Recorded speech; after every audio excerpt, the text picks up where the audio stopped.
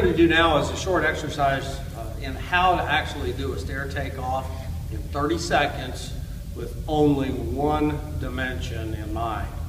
And that dimension is your floor to floor dimension.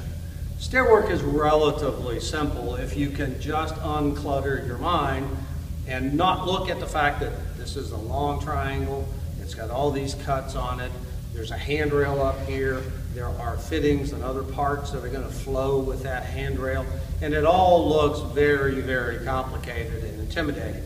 When in truth, you're looking at nothing more than a triangle, and if you can understand that triangle without the math of a triangle, then you can understand the entire stair and you can actually do a stair layout and the majority of a takeoff or parts list by knowing nothing more than one dimension.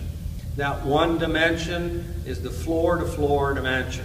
And it can be rough to rough, it can be finished to finished, it just depends on which level or what point you're looking at the stair. For the sake of this discussion and for the sake of this exercise, we don't have to be precise to the fraction of an inch because we're not going to cut the stringers, we're not going to cut any parts or pieces based on these dimensions.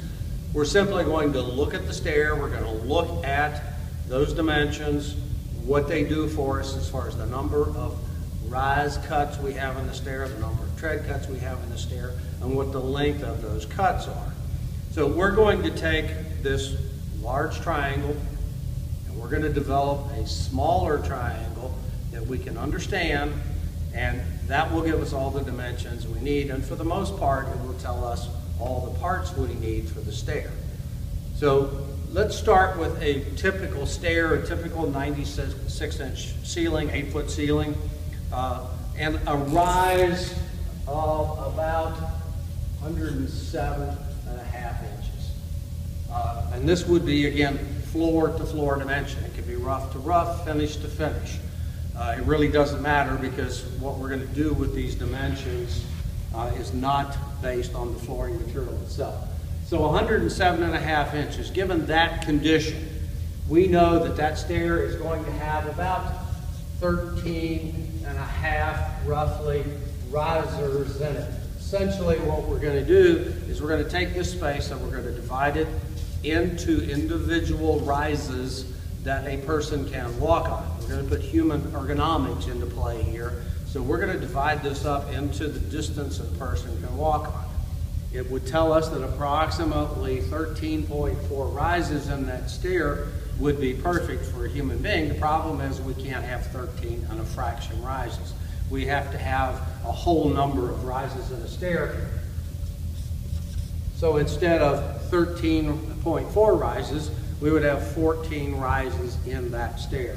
A stair with 14 rises, if it's a straight run stair as this is, is going to have 13 treads. 13 treads is going to tell us that we need 39 balusters. It's going to tell us that we need approximately 16 foot of stringer material. And the stringer is this part of the stair here. This is your support structure for the stair. We're going to have 16 foot of stringer and approximately 16 foot of handrail on our stair. We're going to have 14 of these individual riser boards, and we're going to have 13 treads. Those riser boards are going to have to be approximately seven and a half inches by the width of the stair. Our treads are going to have to be 10 inches plus the nose overhang, and I'll show you that in a second. So we're probably today going to use the most common tread size, which is an 11 and a half inch tread. Now, that's the bulk of your material list right there. The only other things that we normally are going to need would be whatever we're going to do at the beginning of the stair, and we'll talk about uh, starting a stair uh, in another segment, and what we're going to do on the top, and of course anything that's going to happen on the balcony itself. But just given that one dimension, these parts that are listed here go a long way towards a complete material list to, to build that stair. We've done no math, except we've started right here. How did I achieve 107 and a half inches would give me 13.4 risers. The reason I was able to do that is that I know in my triangle here that each individual rise can be no more than seven and three quarter inches tall. The range is actually seven to seven and three quarter inches traditionally. Uh, in all cases, as I've said before, we're not trying to tell you what the code is. We're going to tell you what common usage is at this point. You may have to make adjustments to any of these dimensions for the particular code in your code area. So we're going to give you the general guidelines that are used in the field. You're going to have to determine if this fits the codes in your area. So you can talk to the builder, if you are the builder, you can talk to the owner, talk to the architect, or talk to your own code enforcement agency, and they can give you the guidelines that apply in the area where the structure is being built. So knowing that we have to have seven to seven and three quarter inches, and knowing that we can't go over that seven and three quarter inch threshold for riser height, you divide 107 and a half by eight inches. That allows you to use whole numbers without dividing by fractions. It takes all the math out of it. It gives us, again, a fractional number. We get 13.4 rises in that stair, but we're going to round it up to 14. We can't round it down. If we round down, we're going to be over our 7 and 3 quarter inch threshold. So we round it up to the next number. To double check that number, you can take 14 divided back into 107 and a half. And if my memory serves me right, that's about 7.7 inches. So you're right on the threshold. As I said earlier, is that the only stair you can build here? No. Is it the ideal stair? No. Is it the minimum stair? The answer is yes. That's the minimum stair that it would take to fill that spot.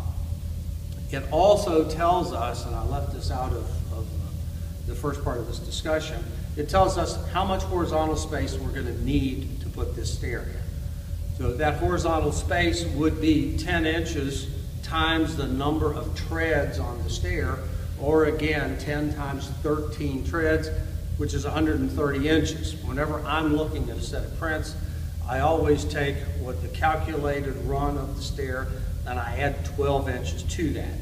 We have to have room for the nose overhang. We have to have room here to allow a swinging door to pass if the stairway is going to be close to a door.